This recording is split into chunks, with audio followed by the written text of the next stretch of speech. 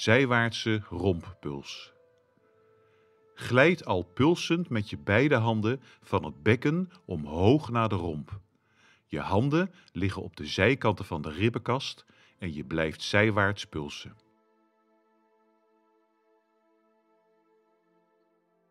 Zijwaartse schoudertoppenpuls.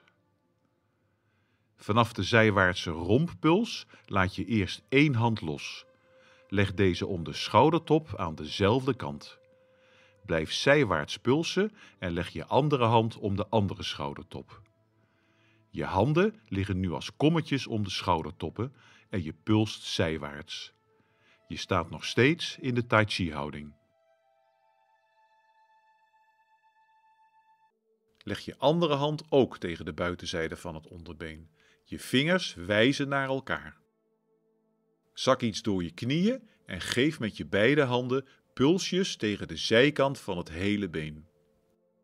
Op het onderbeen zijn het kleinere pulsjes en op het bovenbeen bouw je op naar een grotere, rollende beweging.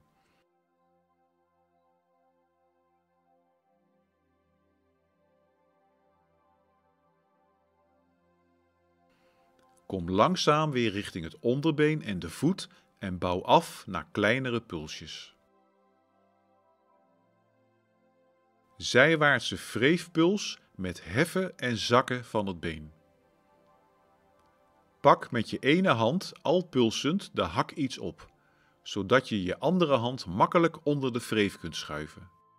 De voet rust nu in je hand. Je duim ligt bij het zwemvliesje van de grote teen. Je staat dwars op de tafel en pulst nog steeds zijwaarts.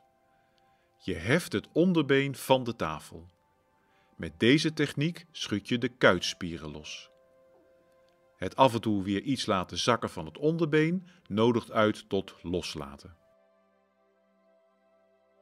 Zijwaartse wreefpuls met het been 90 graden gebogen. Hef het been nu tot 90 graden. Puls wat steviger zijwaarts en laat de kuitspieren even flappen.